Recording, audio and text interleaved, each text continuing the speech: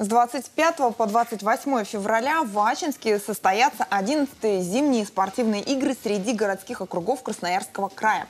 Ожидается, что участниками игр станут более 500 человек из 14 городов нашего региона. Как принять участие, расспросим нашего гостя, первого заместителя министра спорта Красноярского края Аркадия Кривошеева. Доброе утро. Доброе утро. Доброе утро. Расскажите немного о соревнованиях э, и э, скажите, среди только городских жителей будут выбираться, а мы сильнейшие? Э, да, 11 игры, зимние игры в Ачинске примут участие как раз только участники команд городов.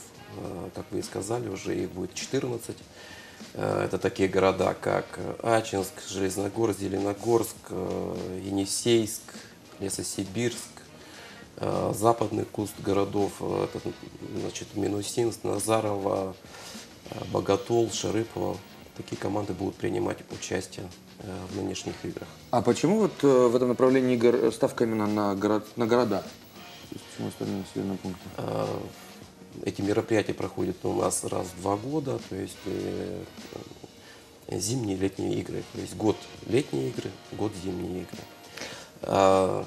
И Э, почему, э, почему в Ачинске будет проходить? И в Ачинске тоже. А, в том числе, да. У них уже есть такая практика. В 2008 году Ачинск уже принимал такое масштабное комплексное мероприятие «Седьмые зимние игры» городских округов.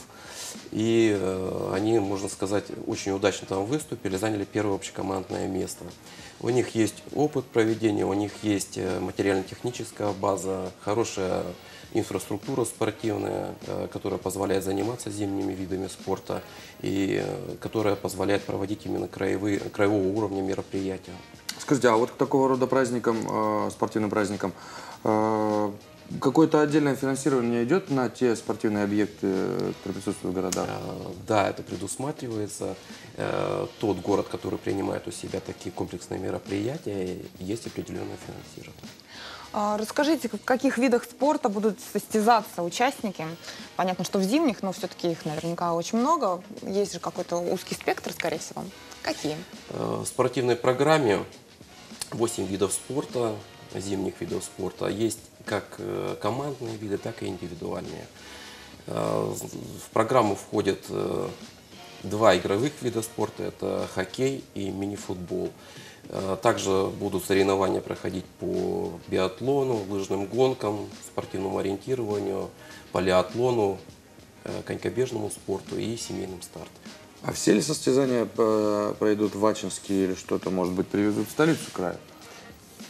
Практически все соревнования будут проходить на площадках Ачинск, а, города Ачинска, Ачинского района, но а, в связи с тем, что нет возможности проводить соревнования по конькобежному спорту, решением было оргкомитета проведения их на локомотиве в городе Красноярске. И эти соревнования пройдут 27-28 э, февраля, субботу, воскресенье. А вообще Можно участники, это профессиональные спортсмены, либо это какие-то сборные команды? Вот вы там говорили про семейные старты. Э, вы знаете, вот согласно положению о соревнованиях есть ограничения. Э, по профессиональным спортсменам, так в игровых видах э, э, игроки профессиональных команд не имеют права участвовать за сборные команды городов, а в индивидуальных видах все, пожалуйста, можно участвовать. Но основной и главный принцип участия этого участника должно быть прописка того округа, за какую команду он собирается выступать то есть о постоянном месте, э, месте жительства. А как э, вообще проходит процедура заявления? То есть если я, например, житель там, Дивногорска, была бы до сих пор по прописке, могла бы обратиться в какой-то местный орган самоуправления и сказать, выразить свое желание, меня бы записали в команду? Э, вы знаете, вот если есть у вас э, прописка постоянное место жительства, вот согласно ее, вы только за, эту, за этот округ, за этот город имеете право выступать. Я поняла. Я имею в виду, что жители имели возможность подойти куда-то в спорткомитет своего города, заявиться, да. выразить, выразить желание попасть в команду. Это проводится муниципальный этап, первый этап а, вот, соревнования в, в, город, да? в муниципалитетах. Угу. На основании этого формируется сборная города, и они вот приезжают уже на финал участвовать в составе сборной города. А вы уже сами упомянули о том, что раз в два года э, летние, ну, собственно, как в обычной Олимпиаде, это происходит. У вас все будет также по-взрослому, серьезное открытие, серьезное закрытие церемония? Э, традиционно церемония открытия-закрытия таких больших комплексных мероприятий, она проходит очень красочно, масштабно.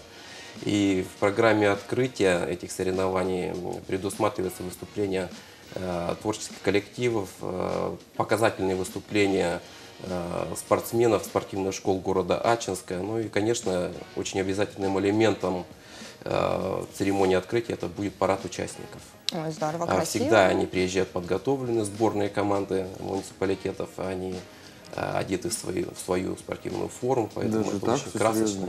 да. Ничего себе. пора Как э, круто.